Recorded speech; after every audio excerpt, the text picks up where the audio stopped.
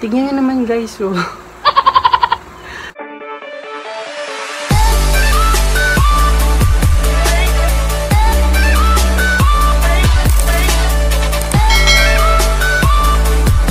So, hello everyone! So, for today's video is tuturuan ko kayo kung paano gawing natural look ang inyong wig. So, kinakailangan nating mga materials. First is suklay. Second is buntis. Buntis. Ewan ko kung anong tawag sa inyo. Charot. Ayan, buntis. And third is gunting. And lastly is yung inyong wig. Ayan. Actually, ngayon, kakalaba ko lang siya and paplansyahin natin siya later. And let's go.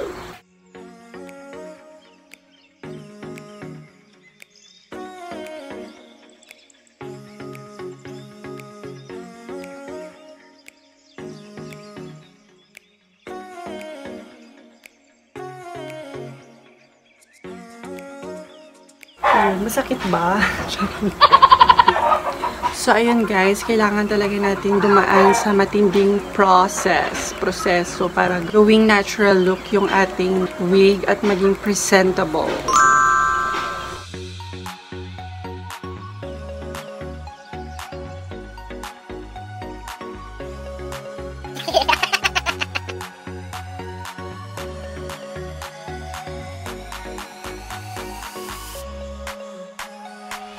What?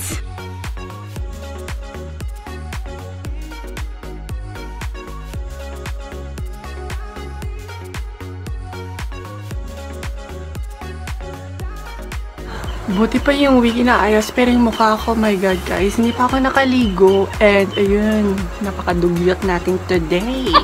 So, carry lang. So, continue na natin.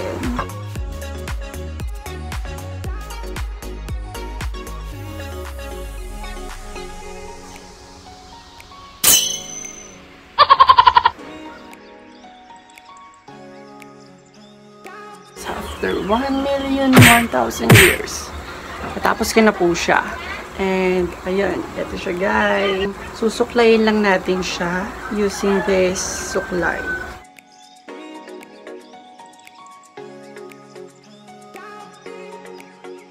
So, sa mga magtatanong dyan kung saan nabili ko ito, sa Shopee, sa Shopee, ilalagay ko na lang sa description box yung link ng binilihan ko nito.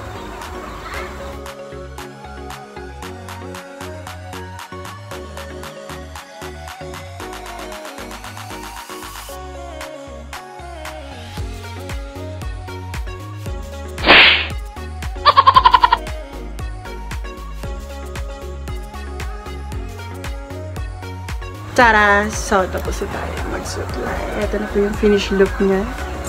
Yan, ready na siya, girl. Ready na siyang umampa. And of course, hindi ako magpapatalo, hindi ko to i-aura. So, wait a minute. And 3, 2, 1.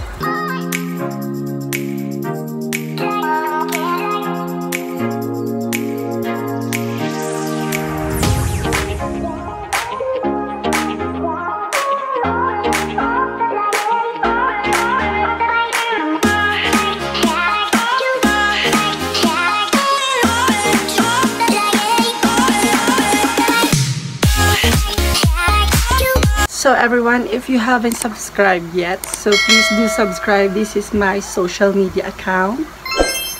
Please do follow that and of course, always support me and nagpapasalamat po ako sa mga taong always nagsusuporta sa akin. I really, really, really thank you and I love you all. Thank you po sa lahat na blessings, your love and also your support. Follow niyo rin po ako sa TikTok account ko. Ayun guys, so magi 80k followers na tayo. Oh my God! Thank you, thank you sa lahat na sumusuporta sa akin, sa mga contents na ginagawa ko. And sa mga gusto magpa-shoutout sa TikTok accounts ko or sa any social medias ko, just comment down below your names or your usernames. Kaya pagkatapos niyan is isa-shoutout ko kayo. At pipili ako ng 10 lucky persons na isi-shoutout ko. Kaya ano pang hinintay mo? Mag-comment ka na. So that's it for today's video. So sana po may natutunan kayong aral sa ginawa kong tutorial sa paggawa ng hairline to make your looks different and of course natural. So yun, see you soon in my next vlog. So stay tuned kayo for another SAS video.